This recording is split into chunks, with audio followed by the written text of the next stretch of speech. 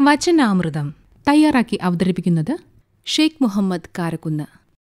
ജന്മവാസനകളെപ്പറ്റി നിരവധി നിരീക്ഷണ പരീക്ഷണ പഠനങ്ങൾ നടത്തിയ പ്രമുഖ ശാസ്ത്രജ്ഞനാണ് ജയഹൻറി അദ്ദേഹം വേട്ടാളിനെ ഉപയോഗിച്ച് നടത്തിയ പരീക്ഷണം ഏറെ ശ്രദ്ധേയമത്രേ. വേട്ടാളൻ ഇരയെ കൊന്ന ശേഷം വലിച്ചു കൊണ്ടുവരിക ഇരയുടെ ആന്റിയയിൽ പിടിച്ചാണ്. ഒരിക്കൽ അത് ഒരു തുള്ളനെ പിടിച്ച് വലിച്ചു കൊണ്ടുവന്നു.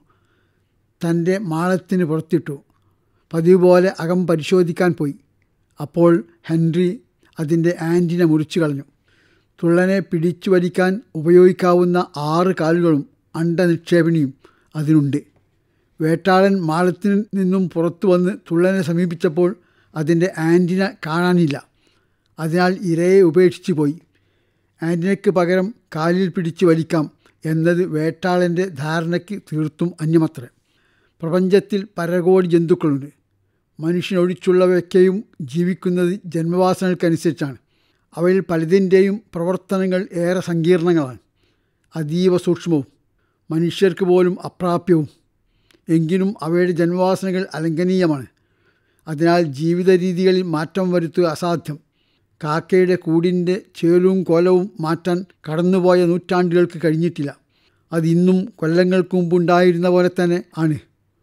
കുറുക്കന്റെ മാളത്തിന്റെ കഥയും തതൈവ ഇന്നും നരി ഇര തേടുന്നത് പണ്ടത്തെ പോലെ തന്നെ. പുരോഗതി അവയ്ക്കെല്ലാം അപ്രാപ്യമാണ്. മറിച്ചുള്ളത് മനുഷ്യൻ മാത്രം. അവന്റെ ജീവിതരീതി അടിക്കടി മാറിക്കൊണ്ടിരിക്കുന്നു. അവൻ വളരുന്നു ഉയരുന്നു വികസിക്കുന്നു പുരോഗതി പ്രാപിക്കുന്നു. മുഴു ജീവിത മേഖലകളിലും ഇത് പ്രകടമാണ്.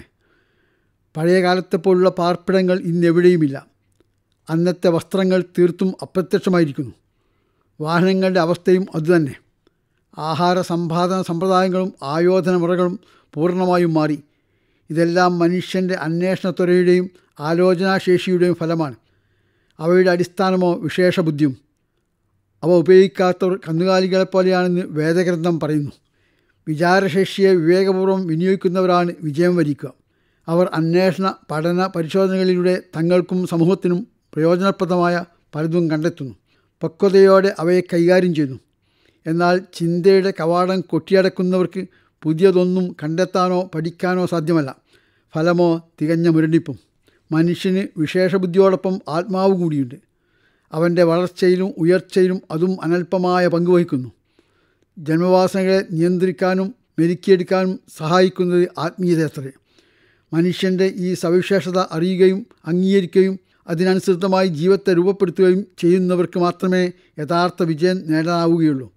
ഈ ലോക ജീവിതം ധന്യമാക്കുന്നതോടൊപ്പം മറുലോകം സുരക്ഷിതമാക്കാൻ സാധിക്കുന്നതും അവർക്ക് തന്നെ. വചനാമൃതമാണ് നിങ്ങൾ ഇതുവരെ കേട്ടത്. തയ്യാറാക്കി അവതരിപ്പിച്ചത് ഷെയ്ഖ് മുഹമ്മദ് കാരക്കുന്ന്.